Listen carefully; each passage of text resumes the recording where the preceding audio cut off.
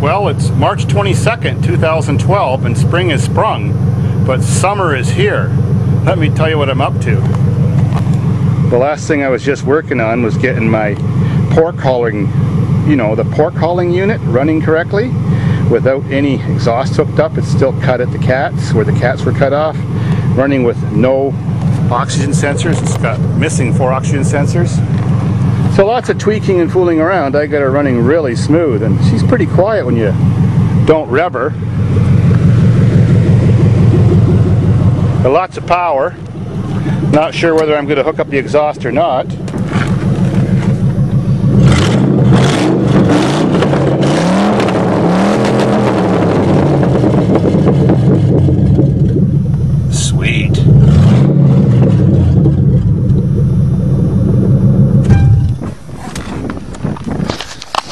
But this video is about unseizing that 305 small block Chevy in my 1963 Allis Chalmers front end loader, which you guys got to see in the video about six weeks ago when it was real cold out that she had locked up solid. I guess it seized because my plastic bags I had shoved, I had shoved up the exhaust manifolds fell out in the last two years and the cylinders got rusty. So the same guys that helped me get my Chevy, my, well Chevyac running, uh, get it unhydrolocked. They pulled the spark plugs out a few days ago, put gas and oil mixture down the cylinders, so now it's been sitting a few days.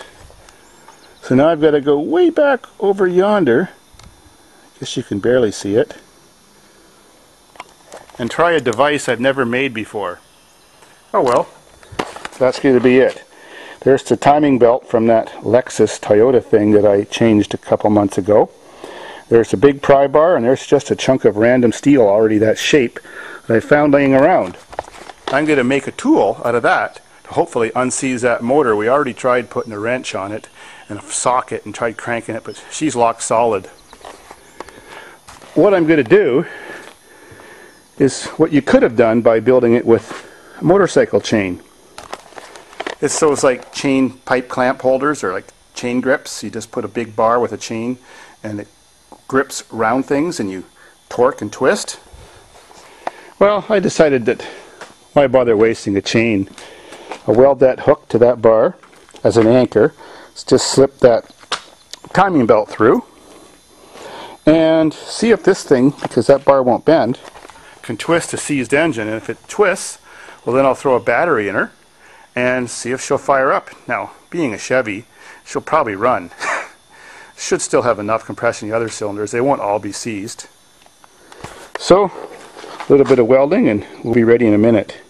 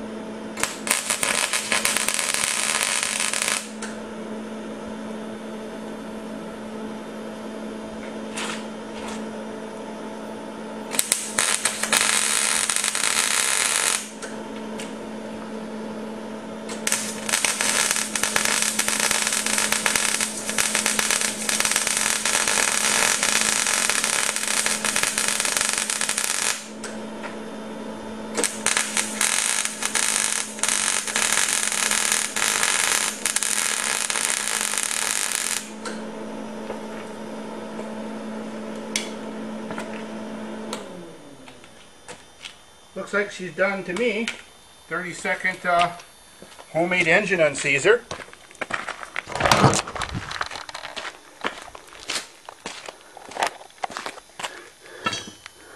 That's it. Now we hook the timing belt through there. Oops. And then we wrap it around the engine crank or I mean the harmonic balancer, and hopefully it binds enough that it catches and it twists the motor just like a chain clamper. Almost there.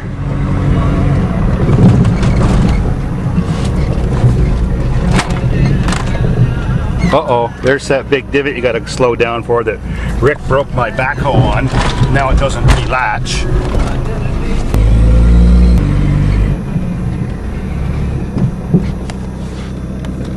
The turbo diesel van is working great with that VW motor.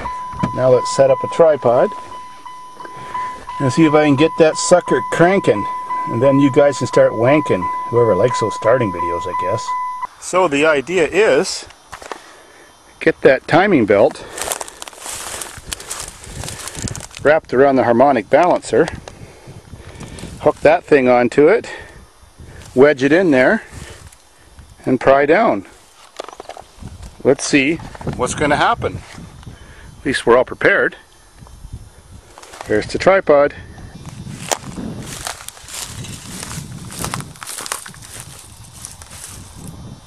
Ah, liquid encouragement. Mm. That'll get the job done.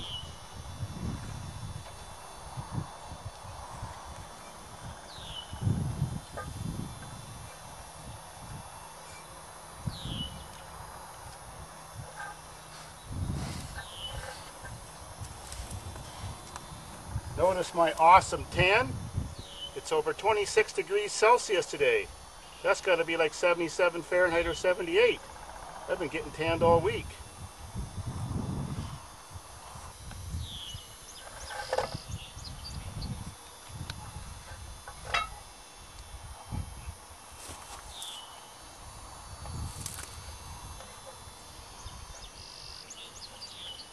But being a weekday, there's nobody out here.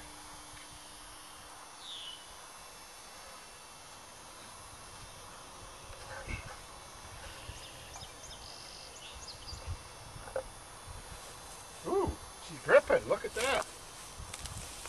The concept works. Cool. Now let's see we got some cranking power. Ooh, that's pretty seized. Um, I think we got to go back and add a little piece on here. I'll show you what happened.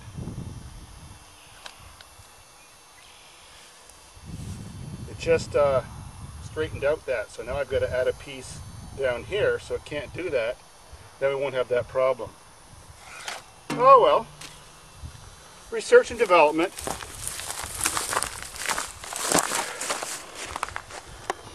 Okay, 30 seconds of welding. That's all the research and development necessary. Well, and I picked up another beer.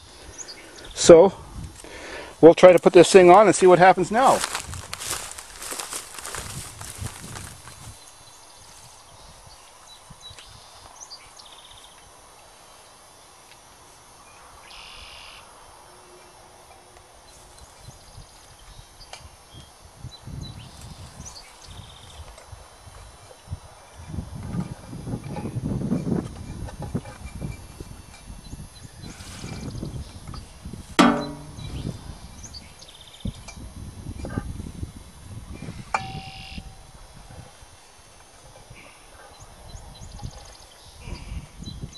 Like I said, it is hard doing this by one person.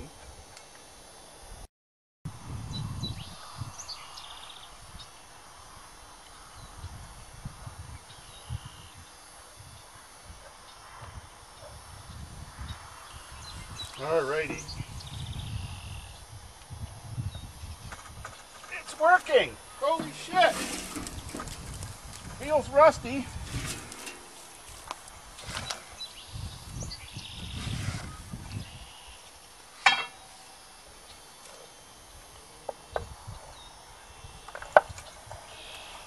Crunch crunch.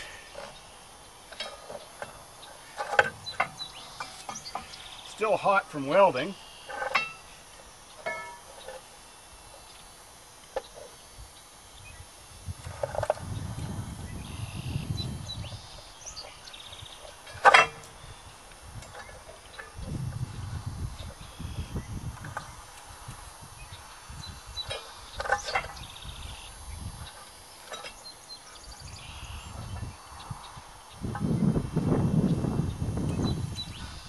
It's a little bit tight still. But that's what he said.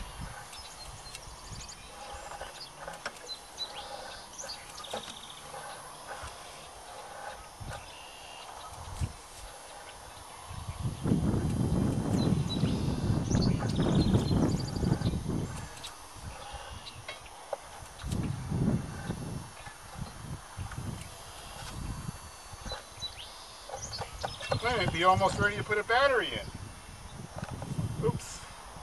Maybe we'll try a battery now.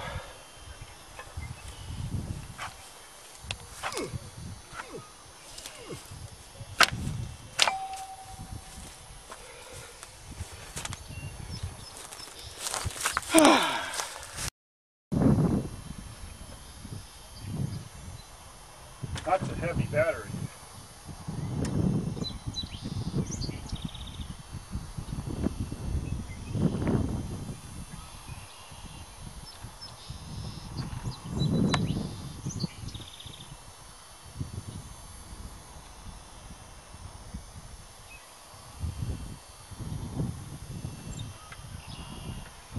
Oh, putting on the wing nuts. Thinking about my next beer.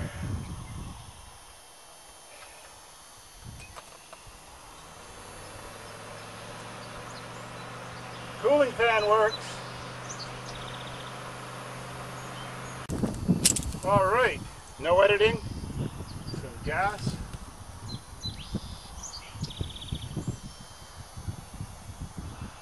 Filling up the bowl through the ventilation port. Let's see if we're going to catch a fire. Oops. Got to hook the battery back up.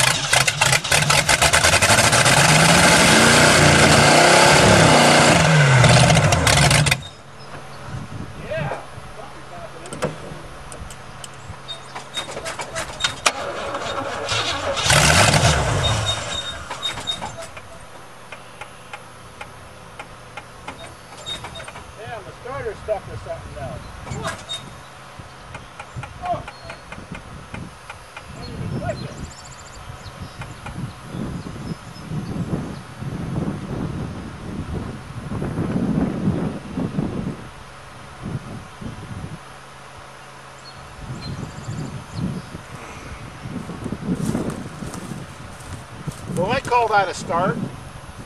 Now I'm going to hit the starter more with a hammer, I guess.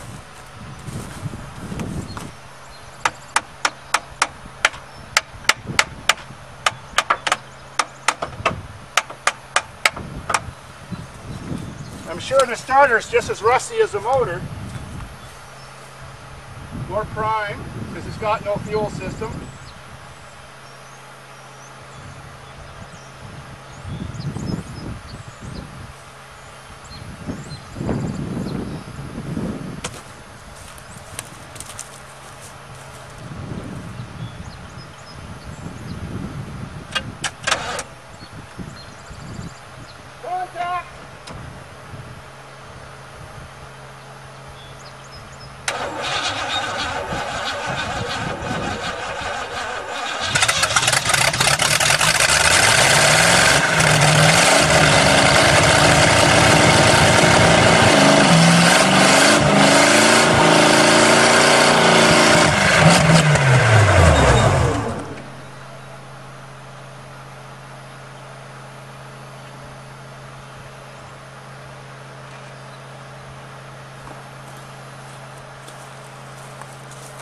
Well, since it's running off the fuel system in the bowl, it didn't run any longer. I don't have a redneck gas can on this thing, but at least it's unseized, so good times are coming. Sweet.